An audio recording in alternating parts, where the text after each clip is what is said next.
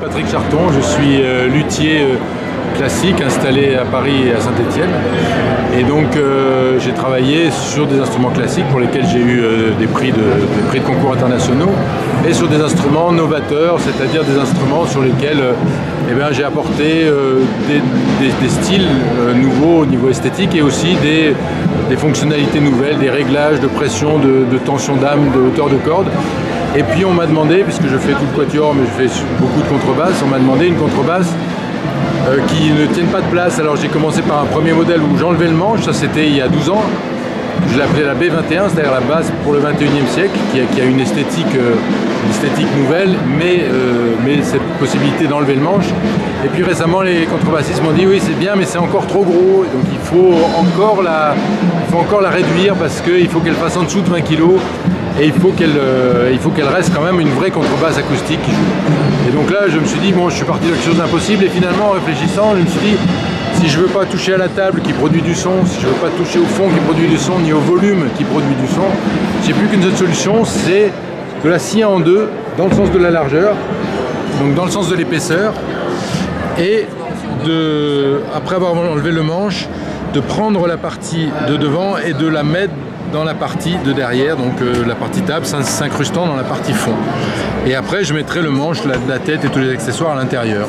Donc euh, c'est déjà une idée un peu folle. Et après, le, plus difficile, ça a été la, réalisation. C'est-à-dire qu'une fois qu'on a le principe, il faut encore, faire, euh, il faut encore fabriquer l'instrument. Donc, rapidement, je, je, vous montre là la première partie du travail, c'est-à-dire il faut commencer par enlever la pression des cordes sans désaccorder, puisque après quand on veut la monter, il ne faut pas qu'elle soit désaccordée. Donc on enlève la, pression des cordes d'un seul coup grâce au, cordier.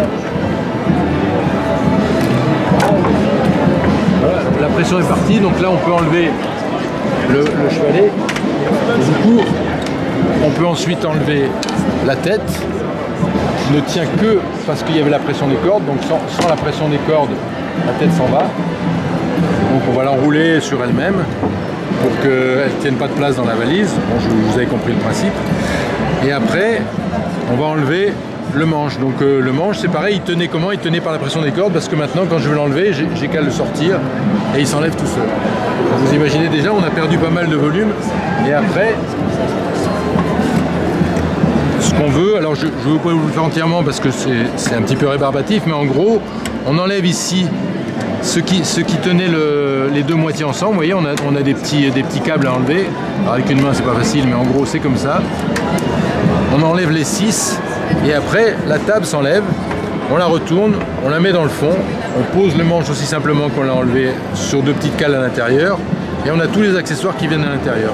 Et après, de ce volume-là, on passe à la moitié de ce volume, et donc ça rentre dans cet étui qui est là, lui euh, s'ouvre en deux et euh, la basse rentre sur champ. C'est un vrai flight case, ça veut dire qu'il est, il est très solide. Il est sur roulette et il ne pèse avec la contrebasse que 19 kg.